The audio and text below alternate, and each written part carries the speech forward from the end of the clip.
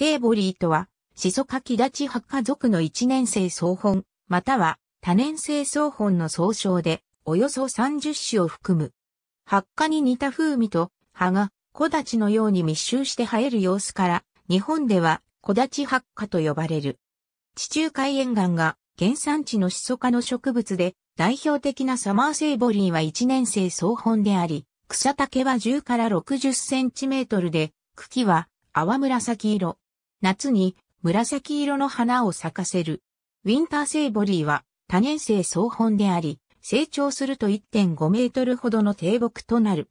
サマーセーボリーの方が、ウィンターセーボリーよりも香味が柔らかく豊かであり、ハーブとしての評価は高いが、ウィンターセーボリーは通年収穫できるという利点がある。古来より葉の部分をハーブとして利用している。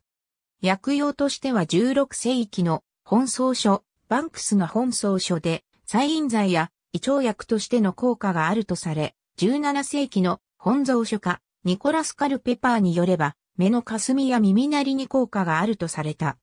その他、工夫薬や巨炭剤などの用法でも使われてきたが、今日では薬草として使われることはほとんどない。食用としては、ハーブティーや肉料理、豆料理のスパイスに利用される。ドイツでは豆のハーブと呼ばれ、豆料理には欠かせない調味料とされている。胡椒が貴重品だった時代は、その代用にもなった。